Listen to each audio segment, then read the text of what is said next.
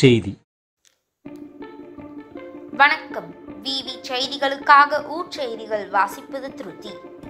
ராணிப்பேட்டை மாவட்டம் ஷோலிங்கர் நகர அதிமுக சார்பில் பூத் கமிட்டி நிர்வாகிகள் தேர்வு செய்யப்பட்டு தேர்வு செய்யப்பட்ட பூத் கமிட்டி நிர்வாகிகளின் பெயர் முகவரி ஆதார் எண் தொலைபேசி எண் உள்ளிட்டவைகளை ஆய்வு செய்யும் பணி ஷோலிங்கர் நகர பூத் கமிட்டி பொறுப்பாளர்கள் முன்னாள் சட்டமன்ற உறுப்பினர் ஜி. சம்பத் மாவட்ட அண்ணா தொழிற்சங்க செயலாளர் மதர் சாகிப் ஆகியோர் ஆய்வு செய்தனர்.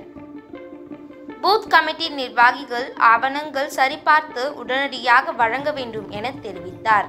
அப்போது நகர செயலாளர் வாசு முன்னாள் பால் கூட்டுறவு சங்க தலைவர் தட்சிணாமூர்த்தி